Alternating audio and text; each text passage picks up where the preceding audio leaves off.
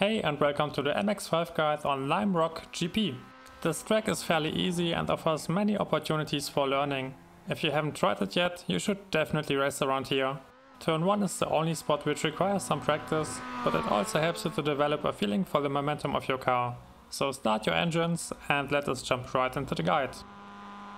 We are on the straight before the first braking zone, which offers the only safe opportunity for overtakes.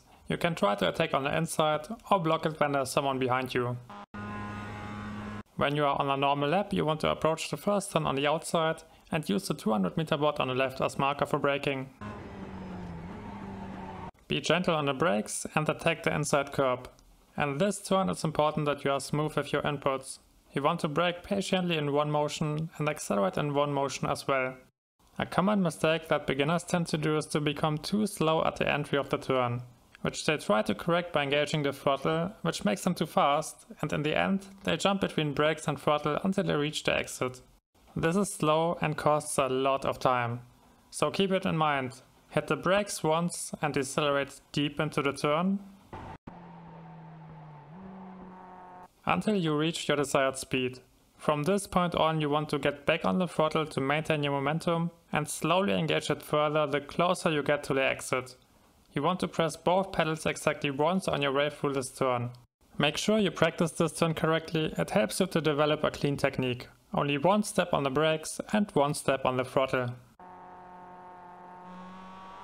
On your way out you want to attack the exit curb and accelerate onto the straight.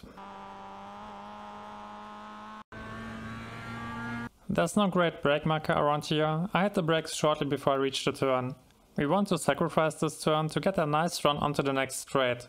That's why you want to stay in third gear and stick to the inside.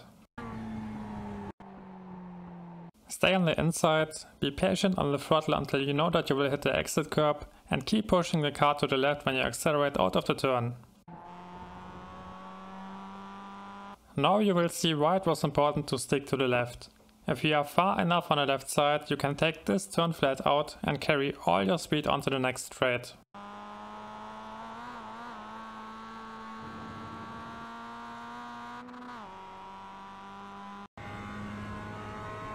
The chicane is coming up.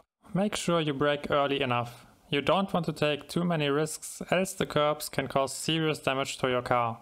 Use the tree as marker and hit the brakes before you reach it. The curb is part of the track, drive on it to get a nice and wide angle for your turn in. The entry itself is tricky. You want to avoid the raised curbs, at the same time there's another straight coming up which means that you need to be early on the throttle. You can use the first curb as orientation and engage the throttle when you reach it. With more practice you will be able to accelerate slightly sooner, like you see me doing it here, which gains you some additional time on the way up the hill.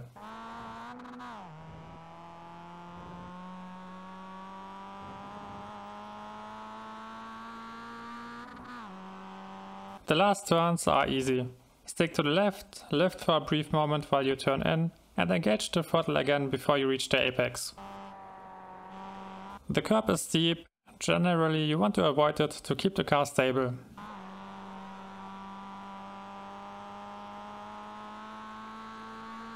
The same applies to the last turn. Stick to the left on the entry, lift while you turn in, and don't be too aggressive over the inside curb.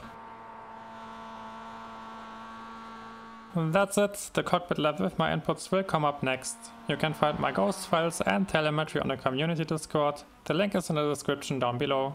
Thanks for your support here on YouTube, Twitch and Patreon, it helps my channel a lot. If you want to support my content you can find more infos in the description. You can also drop a like if you enjoyed the guide to give it a small boost. I wish you good luck for the next week and see you next time.